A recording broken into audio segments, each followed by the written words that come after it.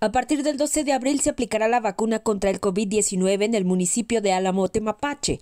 Así lo dio a conocer el alcalde Jorge Ver Hernández. La inmunización se aplicará en 25 puntos diferentes. Exhorto a todos los adultos mayores, si no se inscribieron en la página, eh, como bien lo comentaba Manuel, no hay problema, pueden presentarse en los lugares, va a ser la unidad educativa y en la, en la José López Portillo.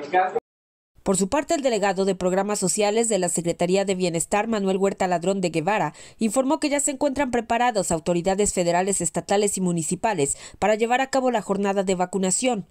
En próximos días ya se les anunciará con 48 horas de anticipación los puntos de la vacunación en Álamo.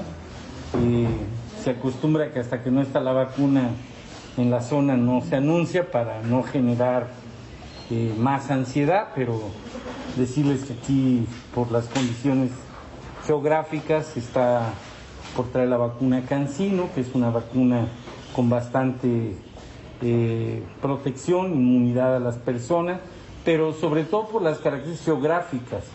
Y esta vacuna es unidosis y es una vacuna que no requiere mucho congelamiento el delegado recordó que la vacuna es gratuita y aseguró que habrá dosis para todos los adultos mayores de 60 años.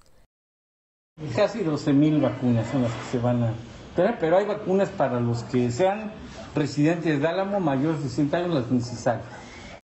Pidió a la población estar pendientes para conocer, de acuerdo a la localidad o colonia en la que viven, el punto de vacunación y el horario que les corresponderá.